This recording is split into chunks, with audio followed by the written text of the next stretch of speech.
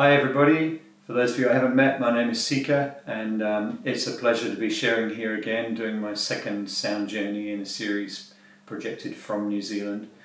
Um, this week I want to do something a little different in that I recently made a fantastic canoe trip with my wife down the Whanganui River.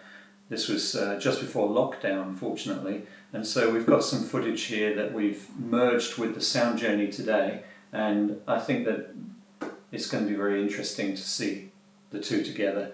Um, I hope that this serves you to bring a bit of joy and a bit of happiness into your hearts at this time.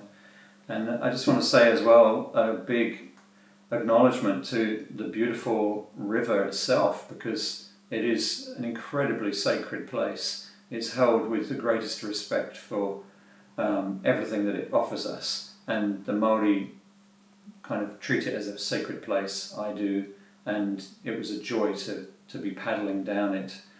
So, um, yeah, this is a, a journey with a difference. Enjoy.